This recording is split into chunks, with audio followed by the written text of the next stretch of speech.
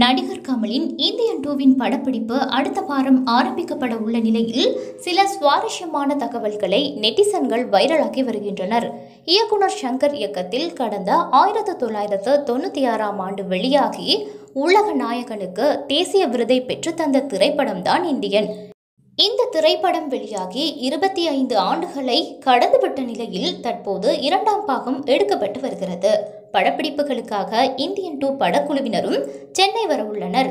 இந்த நிலையில் இந்தியன் படத்தில் முன்னதாக நடிகர் ரஜினிகாந்த் தான் நடிக்க இருந்ததாக சுவாரஸ்ய தகவல்கள் வெளியாகியுள்ளது. ரஜினியும் ஆண்டவர் கமலும் நெருங்கிய நண்பர்கள் என்பது அனைவரும் அறிந்ததே.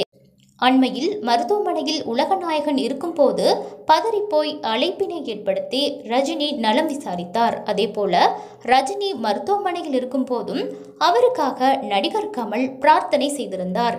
இவர்களின் நட்பு இப்போது ஆரம்பித்தது இல்லை. சினிமாவில் நடிக்கத் தொடங்கிய காலத்திலிருந்தே ஆரம்பமானது. இவர்கள் இருவரும் இணைந்து ஆரம்பத்தில் பல படங்களில் நடித்துள்ளனர்.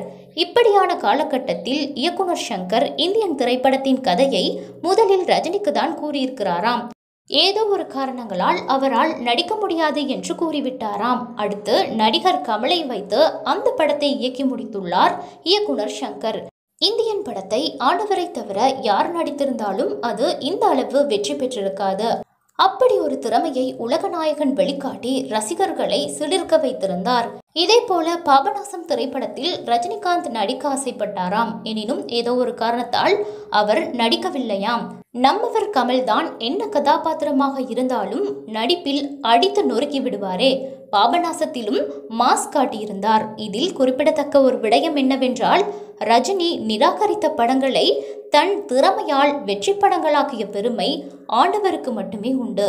அதுவும் இந்தியன் வசூலில் படைத்த சாதனையை நான் சொல்லிதான் தெரிய வேண்டியதில்லை. இந்த படம் இல்லை. எந்த படமாக இருந்தாலும் நம்மவர் நடித்தால் அது பிரம்மாண்ட வெற்றி திரைப்படமே. அவரை வெல்ல இன்னொரு நாயகன் இல்லை என்பதால் தான் அன்றும் இன்றும் என்றும் உலக நாயகனாக ஆண்டவர் கமல் வலம் வந்து கொண்டிருக்கிறார்.